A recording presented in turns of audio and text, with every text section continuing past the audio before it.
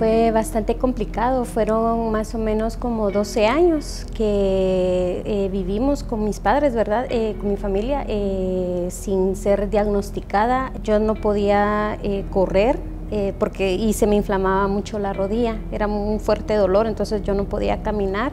Aparte de eso ya empezábamos a notar la hinchazón del estómago, los moretones y mucho sangrado. Fue bastante difícil porque mm, nosotros eh, junto con mis padres no encontramos eh, una respuesta acá en Guatemala. La última cita con el doctor, con el pediatra en el Hospital Roosevelt, eh, me recuerdo yo que él nos citó, nos dijo, bueno, lo siento mucho. Estando yo adentro en, la, en el consultorio con él, nos dice, lo siento mucho, pero su hija es una bomba de tiempo, ella en cualquier momento va a estallar, lo siento mucho, yo ya no le puedo llevar el caso.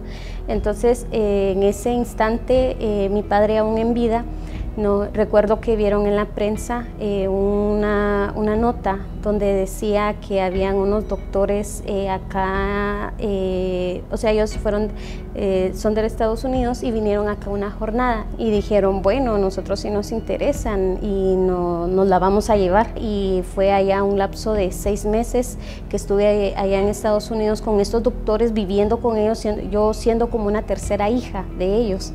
Eh, y fue donde allá eh, dieron con el diagnóstico. Me mandaron de regreso y, y, ahí fue donde contactaron a un genetista acá en Guatemala para poder dar el seguimiento, para poder optar al medicamento. Pero eso fue eh, ese mismo año que yo tenía 12 años, pasaron prácticamente tres años, porque a los 15 años fue que yo recibí el primer medicamento, fue el primer medicamento que vino acá a Guatemala. Hoy por hoy ya cuento con un trabajo y pues ya estoy afiliada a lo que es el IX, entonces ya ellos son quien me lo proporciona. No tengo efectos secundarios, puedo llevar una vida normal. De hecho, ya tengo hijos, tengo tres preciosos hijos. Me siento muy bien, bendecida por la gracia de Dios, porque ya eh, no es nada fácil estar yendo a cada 15 días al IX, eh, pero a la comparación de verme unos